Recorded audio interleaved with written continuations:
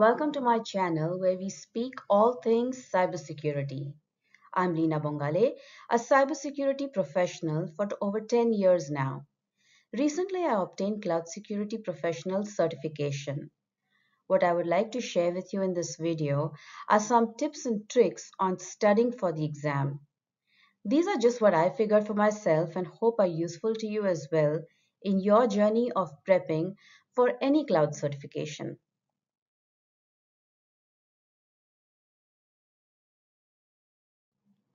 Uh, As you probably already know, the CCSK exams by the Cloud Security Alliance, that is the CSA, are not cloud vendor centric and are cloud agnostic.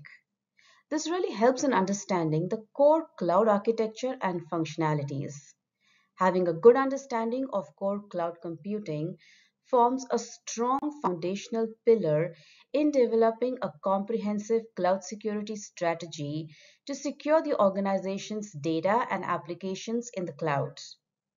Honestly, none of the tips I'm going to mention are rocket science or are, or are out of the ordinary. In fact, you will perhaps call them logical, common sense, and practical. There are six domains in all where all knowledge of cloud security, where, where your knowledge of cloud security will be tested.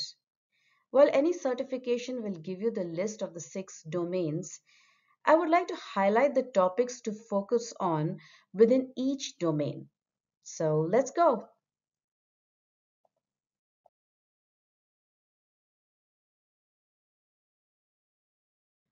The first step is always building a strong foundation, which is true for any certification or exam you may be studying for. For the cloud security certification, starting with grasping the fundamentals of cloud computing and its architecture really helps to understand why and how hackers or bad actors will attack your data in the cloud. This really takes you a long way, well beyond the scope of an exam because once you have a good understanding of this, you will automatically start thinking of a defense strategy by applying your knowledge of cloud architecture. You can start with absolute basics since everything really stems from there. Have a thorough understanding of the different cloud services, deployment models, its key characteristics such as on-demand, self-service, broad network access, multi-tenancy, rapid elasticity, resource pooling, and metered service.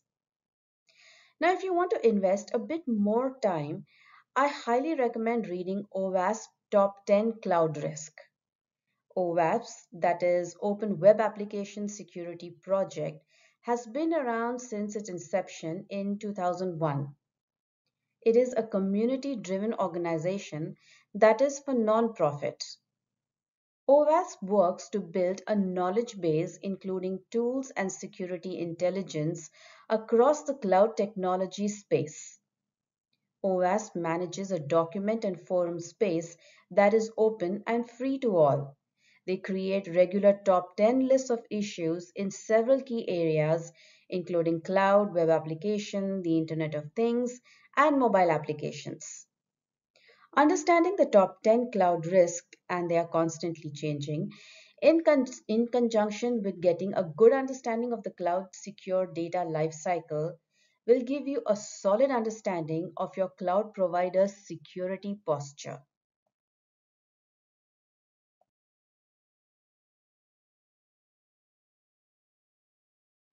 Domain 2 is all about data security.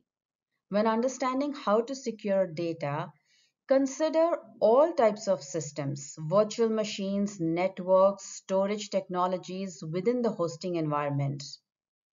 The cloud data lifecycle shows how data flows from its creation through its disposition and how it is handled through varied users and activities while it remains within a system or application.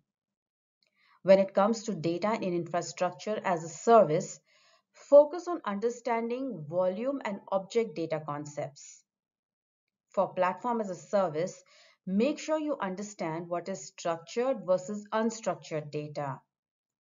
And in software as a service, understanding file structure and storage becomes important. Go in as much depth as you like when reading up on data loss prevention, data privacy, encryption and key management, data hashing and tokenization, data de-identification and masking. Also understand what is digital rights management and what is information rights management and why they are so important in the cloud. All these are like core concepts and strategies when it comes to protecting data in the cloud.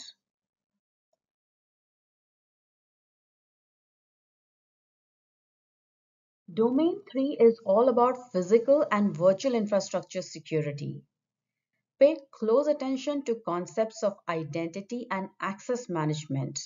Understand what is federated identity in the cloud and how is business continuity and disaster recovery done in the cloud.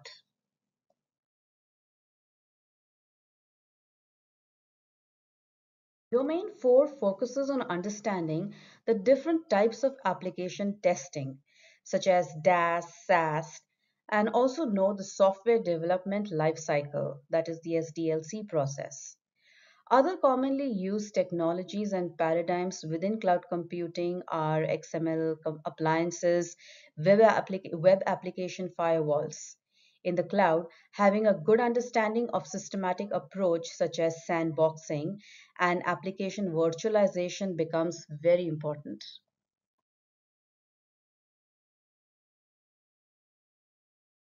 Since Domain 5 covers extensively the components from ITIL, reading through the concepts of ITIL and familiarizing with a set of best practices for IT service management is always very helpful. It's always a bonus if you already know or have experience in change management, configuration management, and developing SLAs.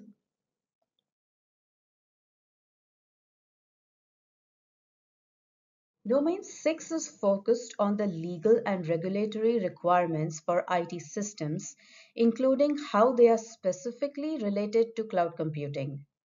Having a bit of understanding on regulatory paradigms such as maybe NERC, CIP, HIPAA, SOX, PCI DSS will make it a lot easier for you in understanding and or designing legally mandated controls.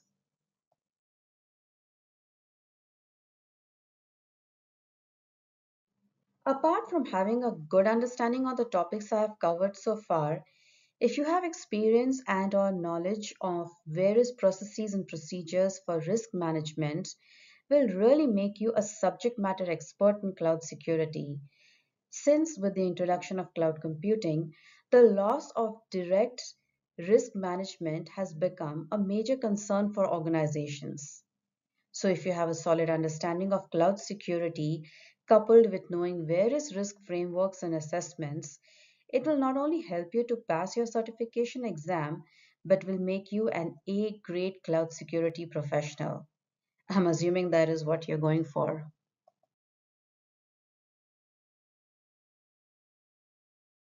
I hope this information helps you in preparing for your certification. And I wish you all the best for your exam and a great start to a brilliant career in cloud security.